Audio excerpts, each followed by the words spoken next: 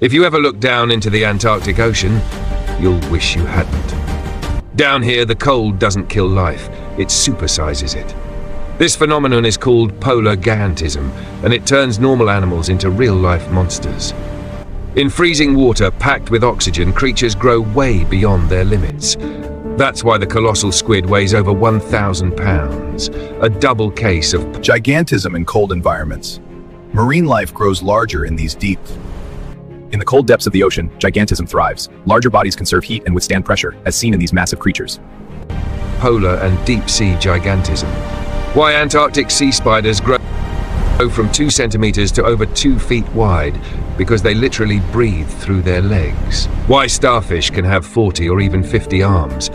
And why the lion's mane jellyfish grows tentacles longer than a blue Cold water and oxygen are essential for metabolism. They help your body convert nutrients into energy. Blue whale. Cold water slows metabolism, predators are rare, and the environment barely cha- changes, giving these giants millions of years to grow, stabilize, and dominate. But now everything is shifting. Warmer oceans hold less oxygen, and the rules that created these giants are collapsing. Sea spiders are shrinking. Colossal squids may vanish next. Life built for stability can't survive sudden change. In Antarctica, cold made life gigantic, but as the ice melts, the giants melt with it. Deadly jellyfish, the most dangerous jellyfish in the world. Thanks for watching. Don't forget to subscribe for more.